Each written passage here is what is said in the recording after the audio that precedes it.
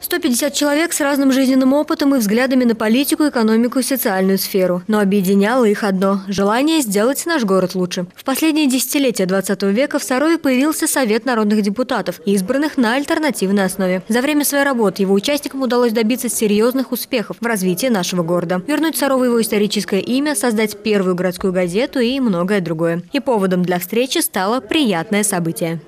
Нам удалось издать книгу подводящую итог нашей депутатской деятельности в далекие 90-е годы.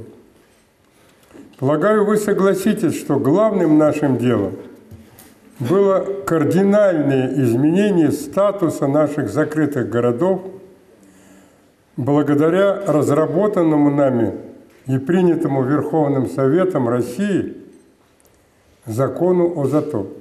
Закон о ЗАТО позволил наполнить бюджет города и сделать жизнь саровчан лучше, но главное, благодаря ему город остался засекреченным, и ядерный центр не прекратил свою деятельность. Не менее важно и то, что именно Совет народных депутатов смог вернуть в Саров духовную жизнь. Как вспоминают ветераны, организовать первый в истории города визит патриарха было непросто, но они справились с этой задачей. Это был рабочий день, никаких административных отпусков, никто ничего не говорил, не делал. Никаких претензий со стороны руководства не было. То есть все-таки высшая честь и разум присутствовал и у самых убежденных атеистов.